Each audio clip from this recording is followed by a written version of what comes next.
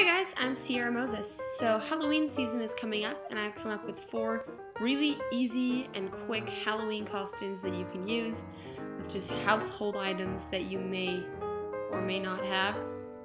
So for the first costume, all you're going to need is a piece of paper, a Sharpie, some scissors, and some tape.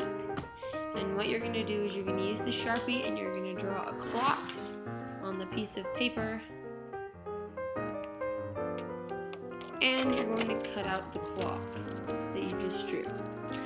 Then you are going to tape it to your cheek or forehead or somewhere on your face. What are you? I'm FaceTime.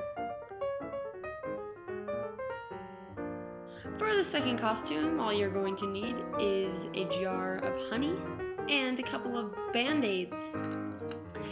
What you're to do is you're to put the band-aid somewhere on your body, somewhere visible, your elbow, maybe your shoulder, somewhere like that, and you're to hold the honey in your hand. What are you? I'm Honey Boo Boo.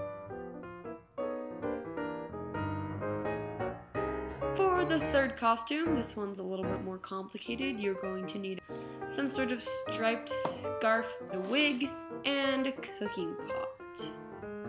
So you're going to put the scarf on and put the wig inside of the pot. What are you? I'm Harry Potter. For the fourth and final costume, the only thing you need is a wig with braided hair, and you're just gonna stick it under your arm. What are you? I'm Brad Pitt.